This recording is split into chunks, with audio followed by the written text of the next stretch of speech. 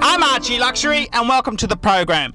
Today, I'd like to talk about the Gold Coast. That's right, the Gold Coast, which is, includes Coolangatta, Tweed Heads, Surfers Paradise, Main Beach, all those holiday fun spots. And uh, I gotta say, the Gold Coast has often been compared to that other sleazy coastal town which I love, Florida, Miami. And uh, I gotta say, the Gold Coast is really fucking doing it tough. It's doing it tough for a number of reasons. Not only are the fucking locals mean, nasty fuckers, but uh, the businesses that are there, they're all mean, nasty fuckers. That's what they are.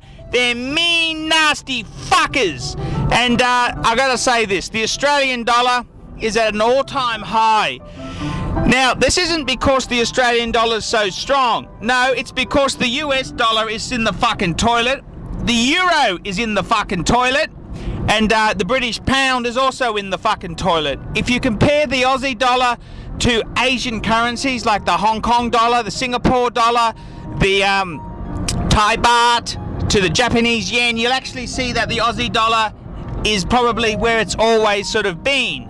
But uh, I got to say this honestly to you: the Australian economy, it's uh, it's really fucking hurting because because the locals are here, but the tourists aren't coming. And uh, we're in a fucking global financial fucking crisis. Thank you, WWW George Bush, you bastard. And uh, I gotta say, you know, it's just fucked. Absolutely fucked. If you go to the Gold Coast, you got empty shops. You got people begging for business. And, uh, you know, I got to admit this the fucking landlords here, they charge an absolute mozza for fucking nothing. They're mean cunts. They won't discount, they won't come down on their rent, so they can go fuck themselves. And uh, it's just fucked. The Gold Coast itself, I got to be honest with you, if it wasn't for the fact that it's an hour's drive from Archie's house to the Gold Coast, I fucking wouldn't come here.